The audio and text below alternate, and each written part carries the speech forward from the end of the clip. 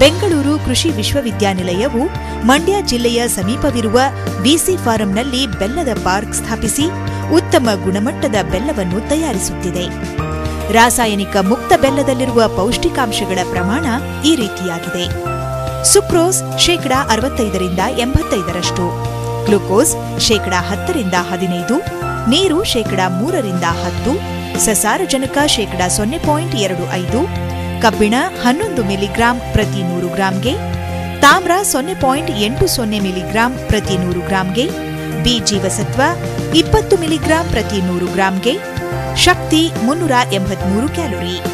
ಬೆಲ್ಲದ ಗುಣಮಟ್ಟವನ್ನು ನಿರ್ಧರಿಸುವ ಅಂಶಗಳು ಖನಿಜ ಪದಾರ್ಥಗಳು, ಸಾರಜನಕ, ಸಸಾರಜನಕ, ಪಿಷ್ಟ, ಅಮೈನೋ ಆಮ್ಲಗಳು ಇತ್ಯಾದಿಗಳ ಅಂಶಗಳು ಕಡಿಮೆ ಪ್ರಮಾಣದಲ್ಲಿದ್ದು, ಹೆಚ್ಚಿನ ಫಾಸ್ಫೇಟ್ ಅಂಶ ಹೊಂದಿರುವ ಕಬ್ಬಿನ ರಸವು ಗುಣಮಟ್ಟದ ಬೆಲ್ಲದ ತಯಾರಿಕೆಗೆ ಸೂಕ್ತವಾಗಿದೆ.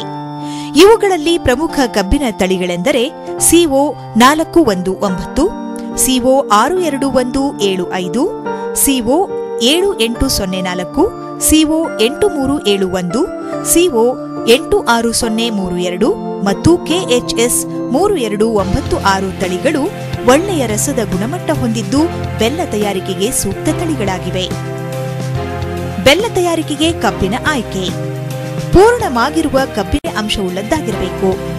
ಇದರಿಂದ ಉತ್ತಮ ಗುಣಮಟ್ಟದ ಜೊತೆಗೆ ಹೆಚ್ಚಿನ ಬೆಲ್ಲದ ಇಳುವರಿಯನ್ನು ಪಡೆಯಬಹುದು.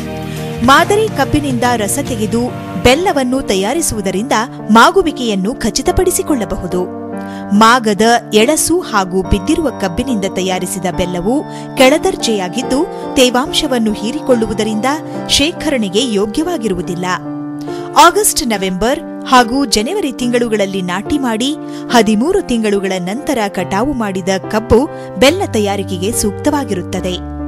ಕಬ್ಬನ್ನು ಬೆಳೆಯುವಾಗ ಹೆಚ್ಚಿನ ಪ್ರಮಾಣದಲ್ಲಿ ಸಾರಜನಕ ಪೋಷಕಾಂಶ ಉಪಯೋಗಿಸಿದ್ದಲ್ಲಿ, ಕಬ್ಬಿನ ರಸದಲ್ಲಿ ಆಮ್ಲೀಯತೆ ಹೆಚ್ಚಾಗಿ ಹಾಲಿನ ಶುದ್ಧೀಕರಣ ಕಷ್ಟವಾಗುತ್ತದೆ. ಇದರಿಂದ ಬೆಲ್ಲದ ಗುಣಮಟ್ಟ ಶೇಖರಣೆಗೆ ಯೋಗ್ಯವಾಗಿರುವುದಿಲ್ಲ.